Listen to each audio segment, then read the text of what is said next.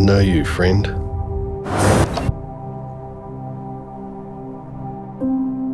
I know every meter, every gap, every specification. I know every metric unit of pressure imposed on your 119,000 tonne frame and how it will react to the extreme conditions here on the remote northwest shelf. I know what a team of engineers in Norway reported on you and what a retired project manager documented on you a decade ago.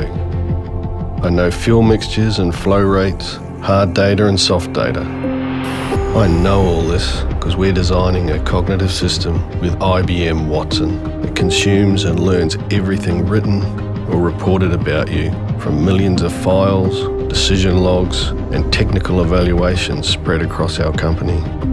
We teach Watson to think like an engineer. Watson teaches us to think like a thousand engineers from a thousand different sources. I know temperatures and pressure gradients, anomalies and patterns. When you succeed, I will know why. I will know how. With Watson, we're asking more questions because we have more answers. We're making smarter decisions because we learn more every time we make one.